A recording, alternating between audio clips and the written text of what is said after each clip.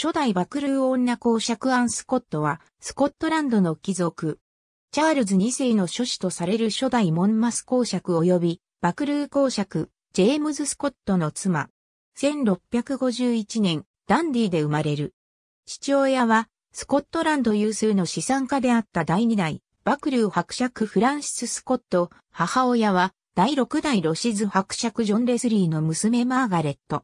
誕生後すぐ父が死去するが、兄ウォルターは溶接しており、男児の後継者がいなかった。このため爵位は姉のメアリー・スコットが相続した。なお、母マーガレットは第2代ウィームズ伯爵、デイビッド・ウィームズと再再婚した。1661年、このいなかった姉の死により、爵位と莫大な資産を相続した。国王チャールズ2世の諸子ジェームズ・クロフッツの妻として、アンに白羽の矢が立ち、1664年4月20日にジェームズとロンドンのウィームズ邸で結婚。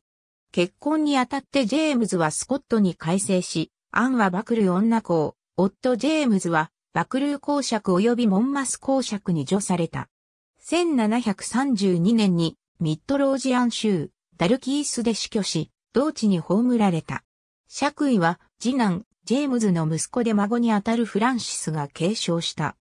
最初の夫である初代モンマス公爵、ジェームズ・スコットとの間には、以下の4男2女を設けた。1685年、モンマスは、おじジェームズ2世に対して反乱を起こすが敗れて処刑された。アンは、第3代コーンウォリス男爵、チャールズ・コーンウォリスと1688年5月6日に、ロンドンの聖マーティニーコールインコールザイコールフィールズ教会で再婚した。コーンウォリスとの間には以下の一難事情を設けた。彼らもスコット姓を称した。